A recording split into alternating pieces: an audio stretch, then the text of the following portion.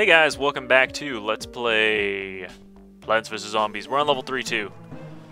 Let's do it. So we just started World 3 last video, beat World 3-1. We're in the backyard, baby. Check out that pool. Who has a fucking pool like that? Just a straight pool all the way across their yard. Super thin like that. Some loser, I'll tell you that. Anyway, our essentials here, um, trust me when I say squashes will start to be essential for you. You will always use them. Um, they will almost even take the place of a potato mine, I'd say, because they're super cheap. You could set them out early and you can set them out uh, ahead of time, and they take no time to charge like the potato mine. The potato mine is a little bit cheaper, so it's it's more you know sun savvy, but it's really not enough. Um, I think they charge about the same time, so if you want to pick both, it's really cool. Anyways, we're working with eight slots now, so we can do that. We've really got nothing else to do. I mean, we're going to go with Peters. We're going to go with walnuts, cherry bombs, sure. Um, this whole extra slot makes things so different. Might as well go with the potato mine and, um, you know, I'm just going to go with fucking regular repeater or Peters on this level. Pea shooters. Might as well. And of course, I'll show you guys the squash. Show you guys the squish. Throw that lily pad out. It's kind of stupid. Not going to have enough sun for my sunflower now. Would have been planting it right now. Not like it'll make a difference, but still, it's okay. You just see when, you know, when you have so little sun and you see one of those plants light up, you want to use it, you know? You just want to use it, man. Anyways, I'm going to show you guys the squash here. So you can set him out anytime. I'm going to set him over here. He's, he's a ugly motherfucker, but, you know, he gets the job done with his moles and his pimples. Brains. I'm just going to show you him now to show him, and then I'll start using the potato mine. But basically, when a zombie gets one, as soon as he comes into the square next to him, so it's to look like he's two squares away, but really he's one. He just triggers it as soon as he, like, is in that square. And then look, he'll look over at him.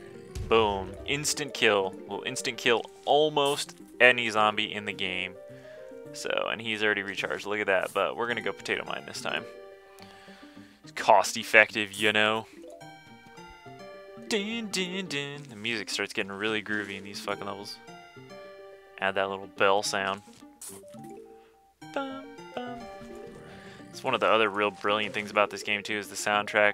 Beautifully simple and like kind of cutesy and childish, you know, but it's at the same time it fits this game perfectly because that's this whole, you know, this game might seem like kind of kiddie to a lot of people, and it kind of is in its, you know, idea but its execution is flawless, you know, like it decided to go with this idea and it just ran with it, dude. They went full on, like you can't half-ass commit to it. Like they're like, okay, Plants vs. Zombies is kind of a kiddie game concept, whatever, and they're like, let's just fucking go with it. Let's full on commit. And you know what? They did. And uh, they executed it to perfection. Yet it still has, you know, enough, uh, enough like, you know, wittiness in there to like, you know, um, appeal to adults as well. Like, you know, the cute little jokes that, you know, maybe seem a little like, oh, you know, but tongue in cheek, but, you know, kids wouldn't really notice that. And if they did, they're not that bad jokes anyway, you know, they're, they're still funny. And, uh, it's also got that skill level where, like, you know, this game can be difficult if, you know, you decide to venture into that difficulty, like, you know, the bonuses and stuff, but it also gets, uh, it can also be easy enough for anybody to tackle, really. It's just, it's the perfect fucking balance for a game. It just really, truly is. It's, oh, look at this. What is that? Mini games unlocked. Play them from the main menu. Yeah, pretty sure that's a scripted unlock, but there you go. We can now do mini games, and I think we probably will do that next episode just to kind of get a break from the adventure here. So it's uh, that'll be pretty exciting. Mini games are real fun, uh, but you don't unlock all of them right away. You have to do, you have to unlock them uh, methodically. I don't know why I put a repeater down there. That squash is now going to, no, he'll still get him. Er? They make that sound too. It's beautiful. Er? Before they kill him. But uh, anyway, yeah.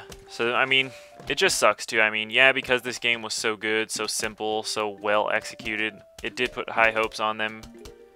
You know, a lot of pressure on it for a sequel, as it does with all good games. You know, that's the curse that good games fall under. But, you know, maybe that had something to do with why they, you know, fell so short with Plants vs. Zombies 2. They felt pressured because it was such a success, or, or maybe they just wanted to capitalize off of, you know, the success they had in the first game, but either way, they, uh, surprisingly for how well, how many good decisions, you know, they made with this game, they really fell short Plants vs. Zombies 2, which, and, I mean, if we're being realistic here, like, it killed the franchise.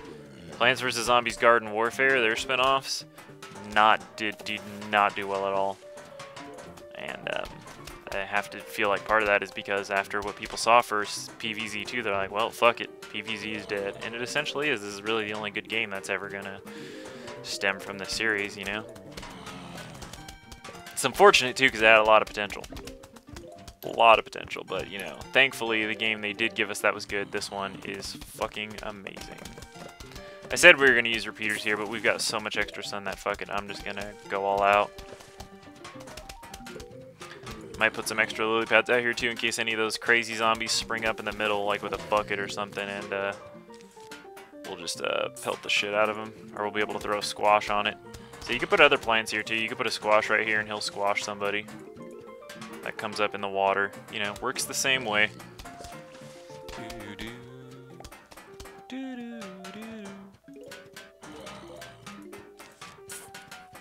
Take the guy out because he's got a cone head behind him. They're going real nuts with the bucket heads, though, aren't they?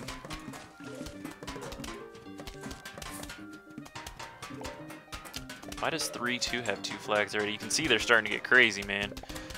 Starting to get a little nuts with the flags. I believe later in the game, later levels, they do have uh, three flag levels, I think. Yeah, they do. But that's as far as it goes. There's no, I don't think there's any four flag levels aside from like uh, in different modes. That newspaper zombie dude's so fucking pissed. Are they gonna kill this guy before he gets to the squash? It looks like they were about to kill him at the same time. Oh, my coin. Too much sun to click. I could kill these guys and put more. Might as well be what I do Go for the water first. Yep, look at that guy spawned right on top of our lily pad, but guess what? Got him. So it's always good to have one of those. Okay, we're gonna have to walnut here, bide our time. And let's think ahead in case shit gets really hairy, which I don't see it happening. We'll put potato mine back here. Last case scenario. Or you know what? I could just cherry bomb. Didn't even think about that.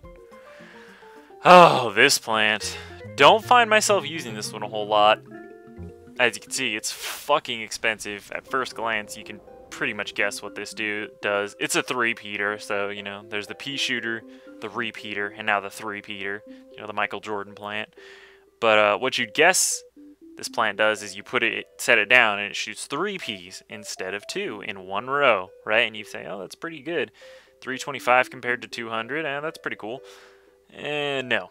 I mean, it, first of all, it would be outclassed by, you know, a repeater and a pea shooter, which would only cost 300 and shoot three, but then again, it takes up two spaces. But no, that's not even what this does. It actually, as you see, shoots peas in three lanes.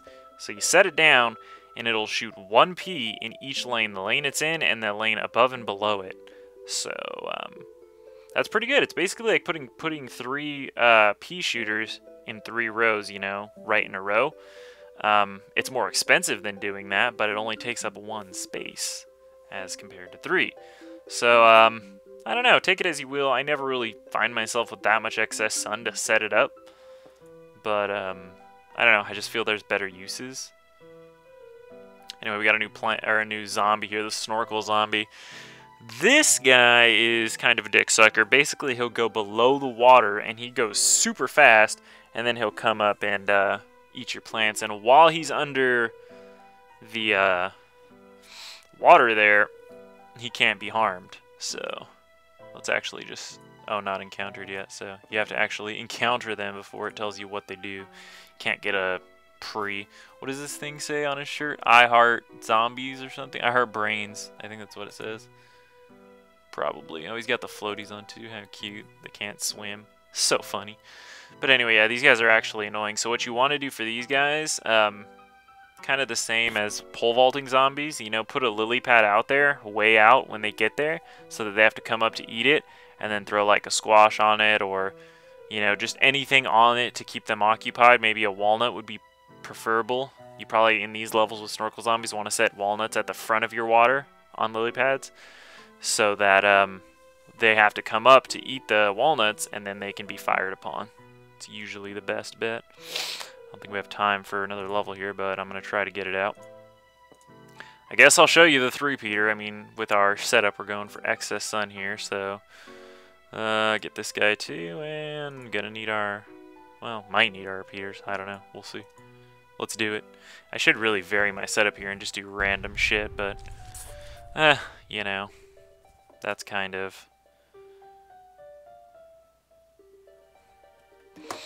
that's kind of, uh, I don't know. I mean, I like to just show my prowess in these things and, you know, do the best I can. Show you, you know, if you do attack this game strategically, it can be fairly easy. Okay, I just, I wasn't supposed to do that. I, I guess I shouldn't have bought the lily pad yet, but that kind of delayed my production a little bit there. It really doesn't make a difference. I'm just nitpicking myself here.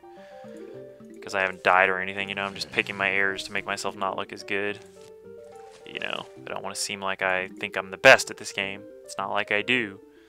But I like to think I'm pretty good.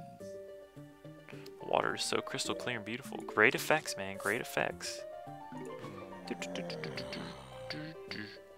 Snorkel zombies probably wouldn't come out until the first uh, flag, I believe.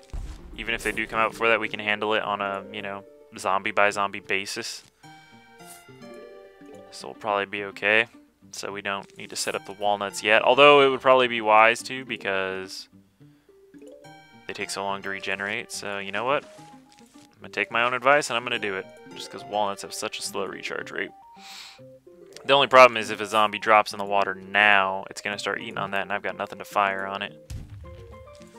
But whatever. I mean, can't can't do everything perfectly here. Bites. Yeah, and obviously uh, there's some plants you cannot plant on lily pads. For example, potato mines, because it goes underground into the dirt. Doesn't really make sense. It's really the only one I can think of that uh, I think follows that logic, but I could be wrong. Okay, so we've almost got everything set up. We've got a good excess of sun. There we go. These guys are handled. Now let's start doing our three-peaters. Now generally with three-peaters, you don't want to put them on the top row or the bottom row because then one of the lanes they're shooting onto is not a real lane, so it'll be completely wasted. So generally the middle four rows are the best place to put them because then they will still be fully utilized. So obviously the best place to put them in is the water, the middle. The more middle, the better. Because then they will fire upon uh, every row. And uh, the best part is the water rows will have double coverage because they are sometimes the most vulnerable. And the hardest to uh, emergency manage, you know, because... See, but the difference is, look, I've spent 650 sun here on plants, and now these two rows are not covered. So, that's the issue you sometimes run into with the repeaters. But uh, I'm just going to squash this guy. It will be up in time before he eats a sunflower. And the great part is he can smash plants behind him, so... Next thing we want to do is... Oh, well, we have enough. Might as well get the three peaters here, too. Now we just need one right here, and every row will be covered with at least one pea. Um, as you can see right here, this row, all three of these rows have two coverage, and these two rows have one pea coming down them. But as soon as we do this, all four of these rows now have two coverage, um, these middle ones, I believe, have three Ps going down them now, and the top rows only still have one, so I'm not going to waste money putting a 3-peater up there. It'll give coverage, another pea coverage to this row too, but it's better to just put a repeater there, I'd say. But as you can see, this is an expensive setup, man. This is what, 1270, no, 1300 sun right here in these four rows. And as you can see, it still didn't give us that much coverage. For this setup right here, that is 1600 sun and all you've got is, you know, uh, three Ps in this row, three, all you've got is three Ps shooting at every row, essentially. Is that worth it? Well, maybe, I don't know.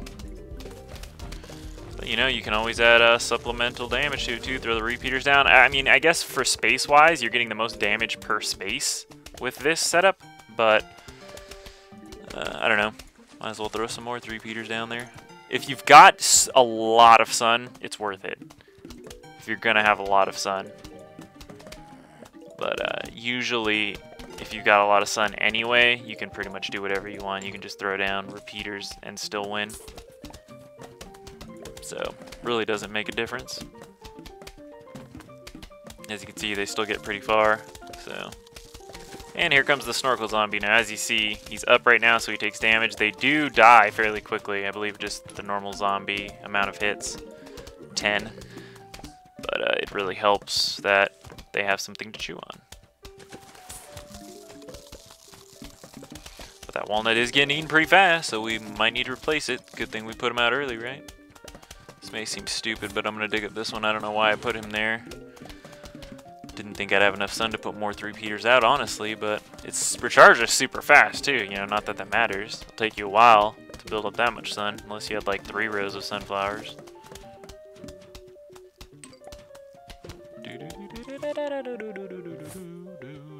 But this is more than enough to cover to the end of this level. It's overkill, it really is, but it's just cool. Cool to show them.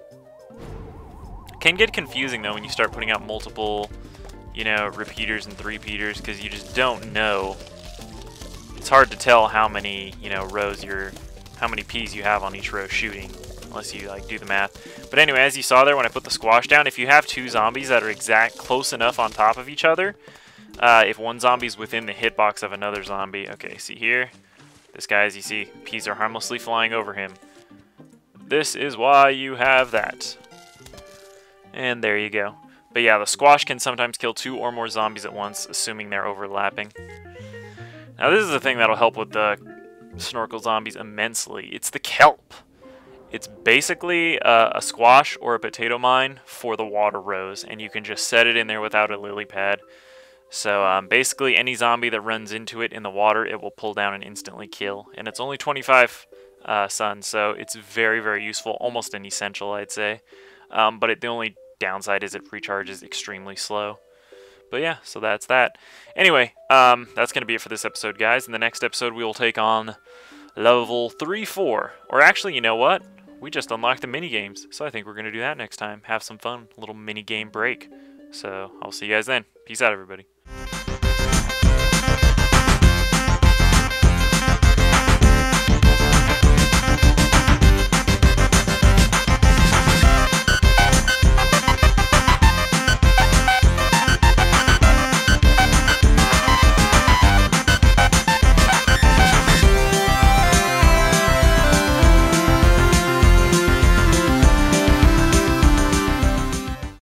You know,